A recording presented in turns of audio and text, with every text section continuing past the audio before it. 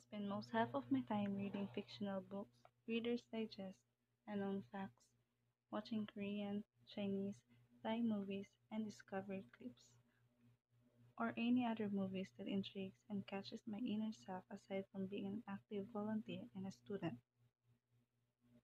Meeting and dealing with different people in our chosen industry is our field of expertise, and my time as a volunteer gave me an opportunity to grow personally, to meet local people, learn life lessons, realizations, and more.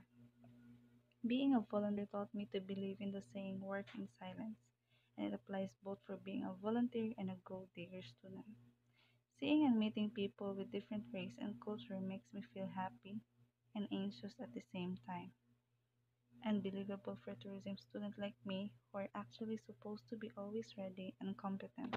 But I believe that learning about others will not stop you just because you are not exposed, equipped, and competent. Learning can be fun and can be done in such many ways. Watching and reading can be those ways. Through constant watching and observation, you'll find out interesting information,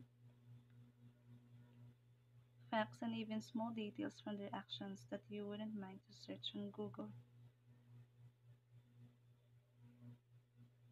And what's more interesting, you'll not only after the unique twist of scenes and favorite oppas.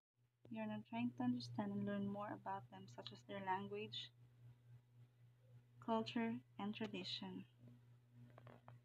Surprisingly, most people appreciate your interest in their country not just because of dramas or boys. Wishing that someday I'll be able to visit those places whom I thought I would only see on screens, sharing and putting into actions what I learned with confidence.